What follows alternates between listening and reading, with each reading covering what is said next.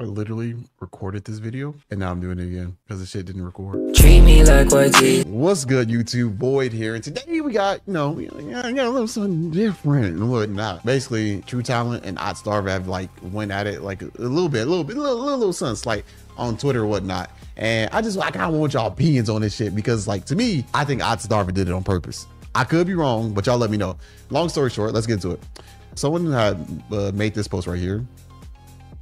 I love when my wife comes home super drunk from a night out.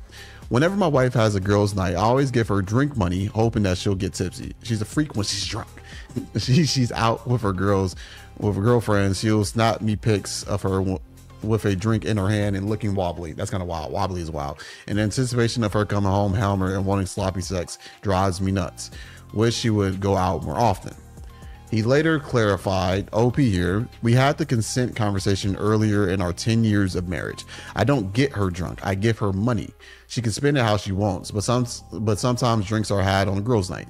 We have a normal and active sex life that doesn't involve alcohol, so I don't need to get her drunk for sex. I just enjoy the occasional drunk leg. This person has said this is great. And Truac uh, quoted that and said, It's getting weirder. I refuse to believe these people are humans. Your wife or husband now? Why do strangers have the right to say what a married couple can and can't do?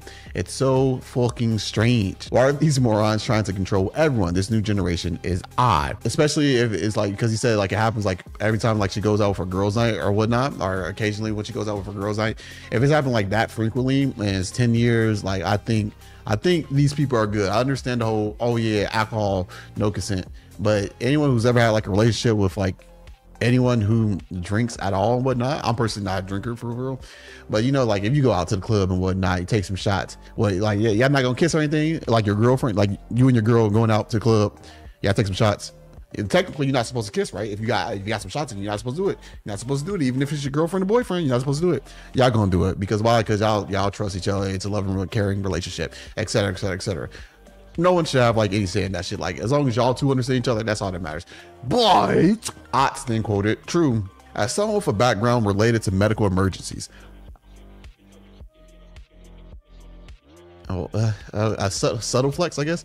I can say, oh, I, okay. I implore everyone not to consume alcohol or encourage others to do so when doing anything even remotely intimate. I want to know why he put this.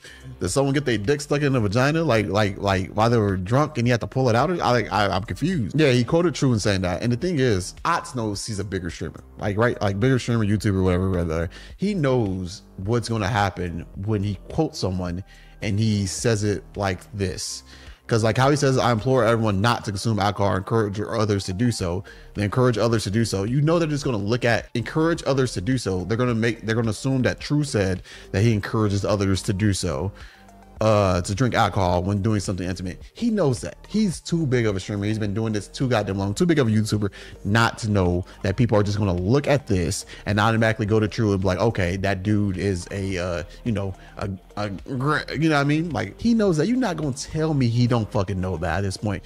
And the other thing is I went through his tweet tweet tweets and shit.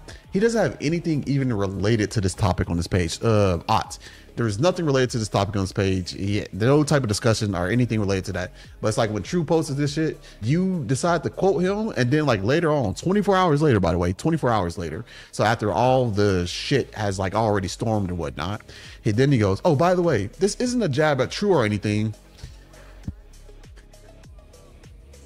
Who are who are we lying to? Who are we lying to right now? He was clearly looking at this from the angle of people minding their own business and not telling consenting adults what to do. Why the fuck ain't you say that the first time? So he purposely waited 24 hours later after the shitstorm to then basically say, "Oh yeah, well I completely understand True's perspective." Nigga, personally, I think it was a jab at True. He says it wasn't.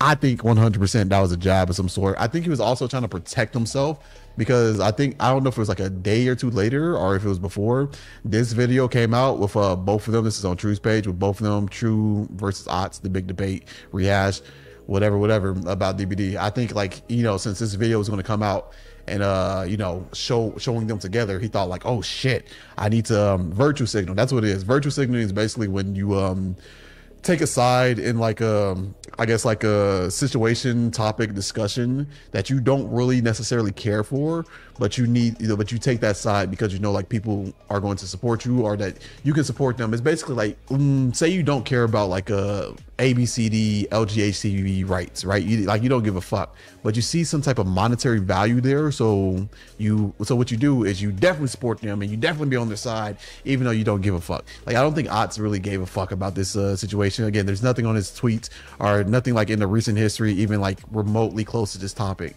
But then when True did that, it's like the virtual signaling decided to come out. Then he decided to post about it. He, he didn't give a fuck. He didn't give a fuck. He didn't give a fuck. It was more likely because that video was coming out. If it hadn't come came out the day before, and he was just trying to um protect his image and shit like that. Because uh, one the bad thing about having an image like Otz, but obviously he's like a big ass streamer, big ass YouTuber. The only bad thing about having his type of image is that you have to walk a thin fucking line and whatnot. You you your your thoughts cannot diverge from that line much if any at all because as soon as it does then like um you know if you have like a more radical thought which is not even radical it's just like just something outside the box then you'll be attacked and whatnot. So his image is based off walking on that line and pleasing everyone and whatnot. So he can't he can't really have any thoughts of his own that are like too far either which way. So that kind of sucks because it's like you can't really ever say your own real opinion and whatnot. I think that what really triggered it is how many views it got.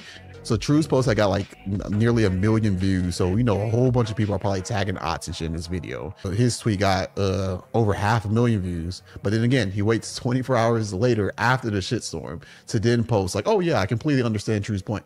Nigga. Anyway, that's all I had to say about this. Sorry, like we don't have like a more regular video and whatnot. Those are coming soon. It's just I just saw this topic and I was just like, bruh. Anyway, I'll see you guys in the next video. We might do more shit like this in the future if anything is like exceptionally interesting or whatnot. But with that being said, I'll see you guys in the next one. Peace.